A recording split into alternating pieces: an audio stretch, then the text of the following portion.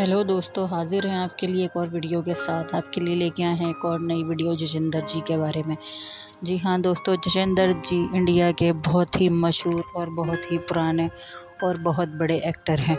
जी हाँ दोस्तों, इनका निधन हो गया है। अभी अभी सुनने में आया है कि इनको हार्ट अटैक आने की वजह से इन्होंने मौके पर ही दम तोड़ दिया है। जी हाँ दोस्तों जजेंद्र जी अब इस दुनिया में नहीं रहे हैं।